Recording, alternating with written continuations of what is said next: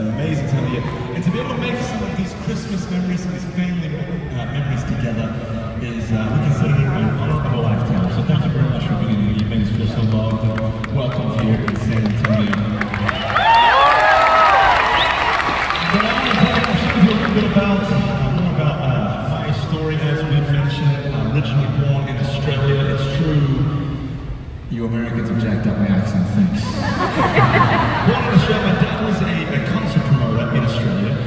Particular tour uh, that he brought back to Australia, the tour didn't go very well. And uh, we ended up losing everything that we had. We lost the house, uh, we lost the car, we lost the life savings. And uh, my dad was looking for a, a fresh start for his career, a fresh start for the family.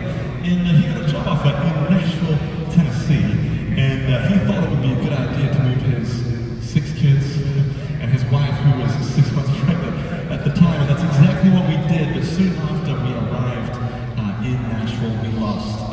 job. And as you saw in the scene, that was one of the first moments kind of that we had here uh, in America. And uh, so we didn't know what else to do other than just gather around as a family and just start praying for these essential things in life. We didn't have uh, a way for our little sister to be uh, born in a hospital. We didn't have any furniture. We weren't always quite sure where the next meal was going to come from. We didn't have a car. And we just got to see God do some amazing, amazing things uh, during that time. And I want to tell you a few of those uh, stories. The first of was this. When we uh, came to America, uh, we, we didn't have any friends, but we had just made a couple of friends and they had come to the house to kind of say hello to us and they realized that these people don't have any furniture at all in their house. And uh, I kid you not, a few days later they came with two box trucks full of furniture and they furnished our entire house. That was the first.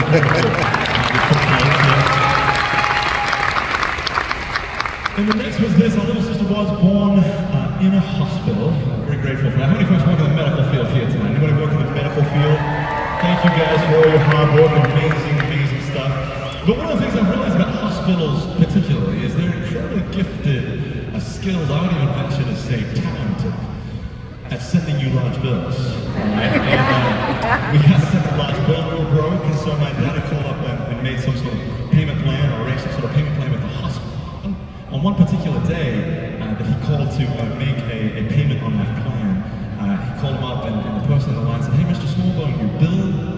well it's been paid in full. And we still to this day been paid for our little sister uh, to be born in a hospital. Pretty cool. And the next was this. We um, we were um, uh, renting a small home in a subdivision, and I think at this point the neighbors started to think that we were a little strange. You know, I think they started to say things like, "Can you understand the word that they say? They speak very, very strangely. Very strange people. I mean, they've got six kids, six kids. Oh, hold up. There's a seventh. They're like bunnies." Um, but one of the things I love about your Americans is you guys are inherently generous people. It's in your culture, I believe. And so we had these new neighbors, and they, they would come, and they would dump groceries uh, on our doorstep. And I went, went to mom and dad, I was like, we can, uh, uh, I said, mom and dad, we can never leave this place. And like, what do you mean? And I was like, they give us food every day. It's incredible.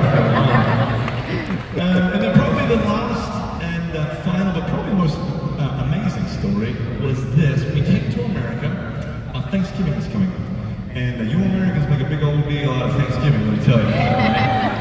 But uh, I love Thanksgiving, but we don't have Thanksgiving in Australia. You know, I mean, Canada's got some sort of idea of uh, Thanksgiving. Obviously, America's got Thanksgiving. The rest of the world does not. I mean, the rest of the world is literally not ungrateful. All right.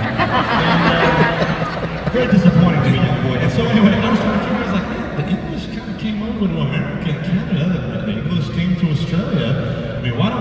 Thanksgiving in Australia? And uh, so I, uh, I went and did some, uh, as a homeschooler, I went and did some scientific research, right? And uh, I went to this place called Wikipedia.com and, uh, and found out, you know, here's the deal. You know what the English, they gave you these wonderful people called pilgrims. You know what they gave Australians? Convicts, all right? The redcoats never left, folks. They never left. They're still marching back in Australia, actually, right now. I'm kidding. Anyway, a family came to us and said, "Why don't you come over for Thanksgiving and we'll show you a, um, we'll show you the ropes of Thanksgiving." We went over to Thanksgiving. I mean, really, if you if you could take yourself out of America and come for the first time and be a foreigner for Thanksgiving, it is one of the most extraordinary holidays ever. To think that you would have a national holiday celebrating thankfulness is unbelievable. Yeah, it's an And that was our experience.